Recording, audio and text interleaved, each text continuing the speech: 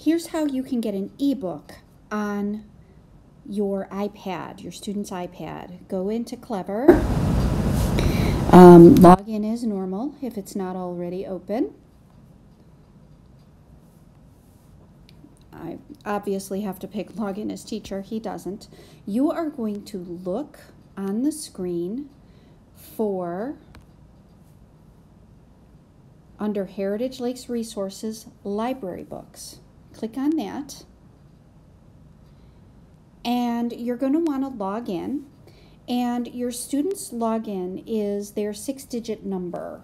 So I'm going to use an example student. I don't have your student's number in front of me. So you would obviously, you wouldn't put in this number, you would put in your student's six digit number, which can be found on the label on their on the back of their iPad, and then their password for this is their last name. Again, this is a um, sample student that I use, so um, it's going to be a different password for your student. You will then see that your student, um, it should have their name or their number at the top. So then you're going to look for the book that you're looking for, and we're looking for the book Be Kind.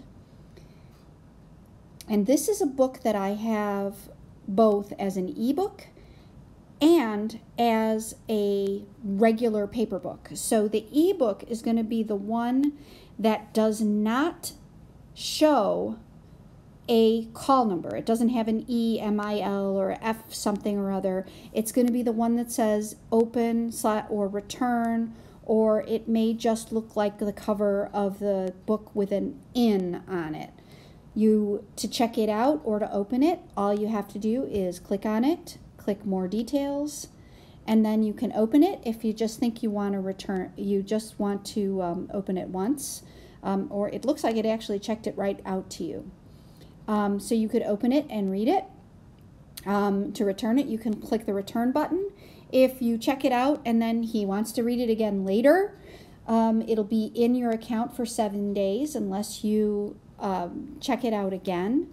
So how you get to it is you look for this little green box with the purple lines and you go in My Stuff and it'll show you your checkouts right there. And um, from there you can either return the book or you can open it and read it again. Hope this helps. Thanks for email.